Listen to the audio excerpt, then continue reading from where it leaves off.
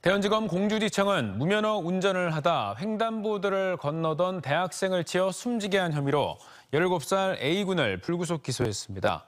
운전면허가 없던 A군은 지난 1월 3일 오전 9시 30분쯤 신분증을 위조해 빌린 렌터카를 운전하다 공주 버스터미널 앞 사거리에서 횡단보도를 건너던 25살 대학생을 치어 숨지게 한 혐의를 받고 있습니다.